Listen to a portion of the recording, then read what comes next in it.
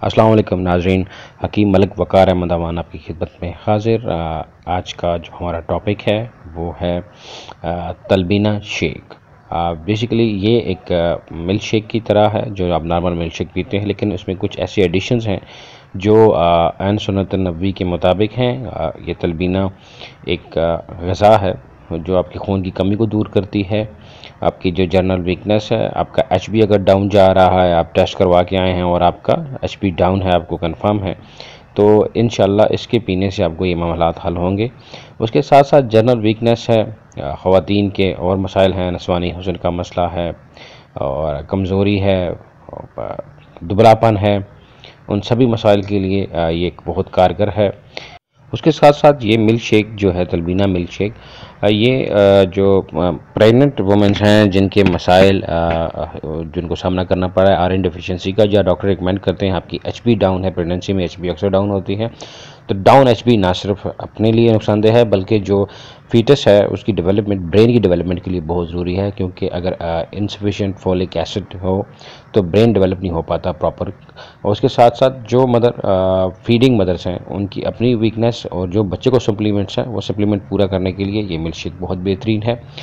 आ, ना सिर्फ़ इन गजाइत के हिसाब से बल्कि ये कॉन्स्टिपेशन जो है जो अक्सर अवकात हमारा मसला है नॉन फाइबरस फ़ूड खाने की वजह से करके रेडीमेड और खाते हैं इस तरह का फ़ूड जंक फ़ूड तो वो उन सभी को काउंटर करता है। ऐसे बच्चे जो एजुकेशन में वीक हों, जिनकी मेंटल ग्रोथ या उनकी जो जनरल वीकनेस की वजह से करके वो कंसंट्रेट नहीं कर पाते वो भी इसी से मुस्तफ़ हो सकते हैं। जो चाइल्डहुड है, जहाँ पे ग्रोथ चाहिए बच्चे को बच्चे को आयरन चाहिए, बच्चे को कैल्शियम चाहिए सप्लीमेंट चाहिए तो मल्टी मल्टीवाइटामिन सिरप और टैबलेट्स के बजाय अगर ये नेचुरल मिल्क शेक यूज़ किया जाए तलबीना मिल्क शेक तो इसके बहुत बेहतरीन रिज़ल्ट आएँगे। इसमें शामिल होने वाले अज्जा में से बनाना सबसे अहम जुज़ है। आप बनाना का जिस तरह मिल्क शेक बनता है, इसी बनाना को आप लेके काट के ये पीसेस इस्तेमाल करते हैं। बनाना जो कि प्रोटीन से भरपूर है प्रोटीन इसके अंदर पाई जाती है। इसके अलावा लैक्टोज है। इसके साथ साथ इसका जो जज्व आज़म है, वो है खजूर डेट्स ये सुनत नबी है और ये नुस्खा बेसिकली तिब नबी का ही नुस्खा है। तलबीना नबी वसल्लम की एक मरगूब गज़ा थी। अब नुस्खे की तरफ़ जाएँगे और आपको बताएँगे, लेकिन नुस्खे जाने से पहले मेरे चैनल को कीजिए।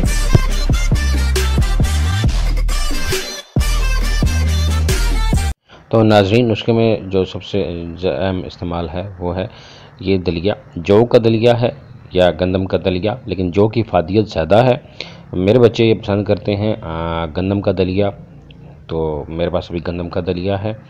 ये दलिया आपको देसी दलिया है, गंदम का आपको किसी भी चक्की से मिल जाएगा, घर में बनाया जा सकता है इसको हल्का हल्का मोटा कूट के और इसको हल्का सा पकाते हैं तवे पे, कभी दलिया बनाना आपको बताएँगे। दलिया बेसिकली फाइबरस फ़ूड है और इसके अंदर रेशादार गज़ा है, इसके अंदर आपके एक्सेसिव पाया जाता है आयरन और इसके साथ लेक्टोज तो इस दलिए को यहाँ पका के हमने हल्की सी चीनी और दूध डाल के अच्छे से पका के हमने ये चीज़ बना ली है। तो ये दलिया पक के आलमोस्ट ये चीज़ बन चुकी है। क्योंकि हमारा ये मिल्क शेक बनेगा और इसमें दूध इस्तेमाल होगा और ये ठंडा नुस्खा है। यानी कि ड्रिंकिंग है, ना कि खाने के लिए। तो ये भी चीज़ें दूध है दलिया बना हुआ है, साथ चीनी है और ये चार चीज़ें अभी इस्तेमाल होंगी इसमें। इसके साथ साथ जो इसको, इसकी फादियत को बढ़ाने के लिए इसके अंदर हमने ऐड किया है ताकि बच्चे शौक से खाएँ। ये बनाना है। इसको हमने काट के पीस जिस तरह शेक में बनाने के लिए हमने रखे हुए हैं। तो ये ऐड करेंगे आप चार से पाँच। अब बनाना काटने के साथ ही हम इसके साथ हम किशमिश मैंने भिगो दी थी। किशमिश बेसिकली विटामिन सी का ज़ख़ीरा है इसके अंदर, जो आयरन की ऑब्जर्शन है, जो आयरन को जिसम का जुज्व बदन बनाती है, वो विटामिन सी है, जो कि इसके अंदर है। सिर्फ़ आप आयरन लेते हैं तो आपका डाइजेस्टिव सिस्टम गड़बड़ कर जाता है। हैवी प्रोटीन हो तो उसके लिए आयरन की ऑब्जर्शन के लिए बी कम्प्लेक्स और विटामिन सी बहुत ज़रूरी है। बड़ी एक टेक्निकल आपको अप्रोच दे रहे हैं इस चीज़ को सीखने में। विटामिन सी बी कम्प्लेक्स और आयरन ये तीनों का कंपाउंड हो, तभी जाके बेहतरीन आपका ऑब्जर्शन होता है आयरन का। इसके साथ ये रात की भिगोई हुई खजूरें हैं, साफ़ करके धो के रखी थी और इसी पानी को हम इस्तेमाल करेंगे। ये कटी हुई खजूरें हैं, देख रहे हैं आप तो इनको हमने भिगो के रखा था। लाइट थोड़ी सी हल्की है, वीडियो मुझे बनानी पड़ रही है, मैं काफ़ी लेट हो गया था वीडियो बनाते हुए और बच्चे अभी ट्यूशन गए हुए थे। तो ये देख रहे हैं आप, हमने, आप, ये इस्तेमाल करनी है खजूरें। ये हम पाँच सर्विंग हैं तो इसलिए थोड़ी सी क्वांटिटी ज़्यादा बनी हुई है, पाँच सर्विंग के लिए। तो उसके साथ चीनी है। चीनी हम लिमिटेड मकदार में इस्तेमाल करेंगे, क्योंकि आर चीनी में मिठास बहुत ज़्यादा है। तो चीनी सेहत के लिए इतनी अच्छी भी नहीं है, इसको इस्तेमाल लिमिटेड तरीके से करना चाहिए। इन सभी चीज़ों को हम डालेंगे तो उसके अंदर सिर्फ़ दो चम्मच हम चीनी डालेंगे। इससे ऊपर शुगर का इस्तेमाल इस नुस्खे में बहुत मिठास कर देगा, जो कि अच्छा नहीं है। इसके साथ बला, बलाई के दूध होगा, बलाई निकाले, नहीं निकालेंगे, बलाई के साथ होगा सॉरी और इसके साथ ये पानी आप देख रहे हैं, क्योंकि ये सभी चीज़ें मिलकर गाढ़ी हो जाएँगी दूध में तो पानी डालने से ये थोड़ा सा लाइट हो जाएगा शेक शक्ल में बन जाएगा, पीने के काबिल होगा। बाकी चीज़ें आलरेडी गाढ़ी हैं तो ये पानी भी हो गया। अब ये कुल मिला के चीज़ें आपके सामने आ गई हैं।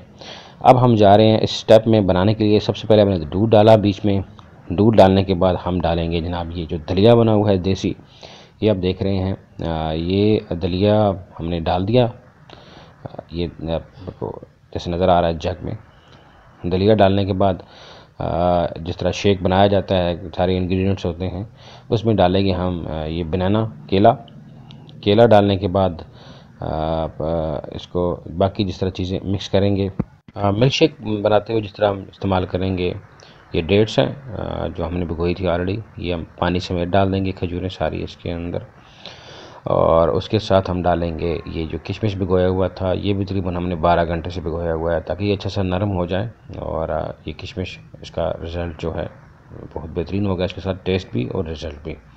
इसके साथ चीनी है बहुत लाइट सी चीनी यूज़ करेंगे, देख रहे हैं आप तकरीबन ये वन बाई एट सर्विंग है कप का, और हमने तकरीबन ये एक वन बाई एट डाला है।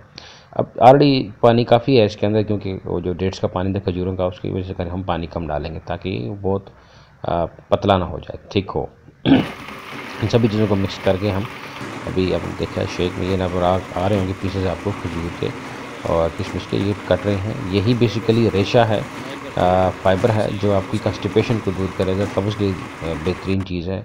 आपने इसको ऐसे ही पीना है और ये आपके सामने अभी देखें एक का मिल्क शेक का गिलास इंतहाई क्रीमी और सेहतमंद और हाई कैलोरिक है। अगर आप कमज़ोर हैं, वीकनेस है तो ये आपके लिए बहुत बेहतरीन है। ये नज़र आ रहा होगा आपको साइडों पे।